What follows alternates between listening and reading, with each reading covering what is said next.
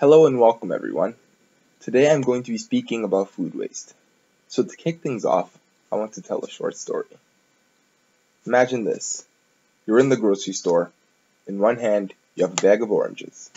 In the other, a bunch of bananas. You're standing there, trying to figure out which one you want more. You could get the oranges, which would be an okay choice, but you really want those bananas. So you get both. A week later, you're staring at the remnants. A few leftover overripened bananas and a couple oranges. Both you no longer want to eat. With another trip to the grocery store scheduled, you just toss the leftovers in the trash. You think to yourself, what harm could this cause? This is just one example of a growing epidemic called food waste.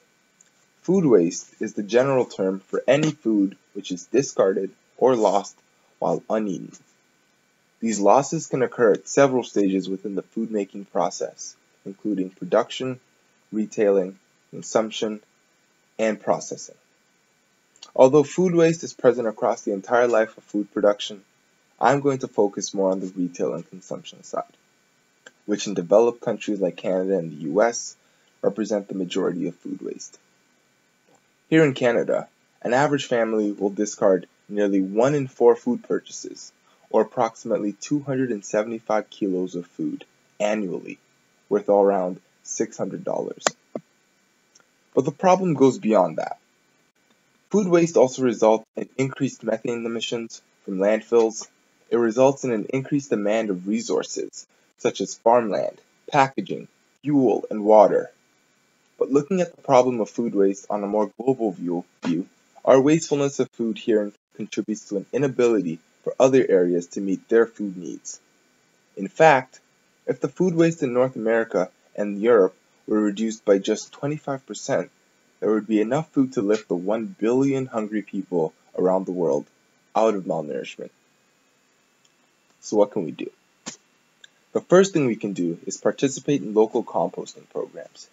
Composting reduces the amount of food which goes to landfills as well as replenishes soil. Next, we can change our buying habits. Instead of making large grocery runs where it is hard to predict what can be consumed before it spoils, make smaller trips more frequently.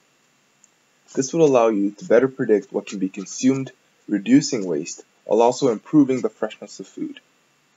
Lastly is being proactive.